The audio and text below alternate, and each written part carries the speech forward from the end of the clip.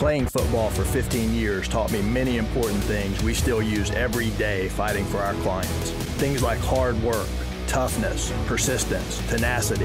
Football taught me when you really want something, you got to be relentless and fight for it every day, not just sometimes. Winning consistently isn't easy. You got to be willing to put in the work and do hard things. I've never taken the easy road, and that's made all the difference in my life. Let me show you what having football tough lawyers can do for you.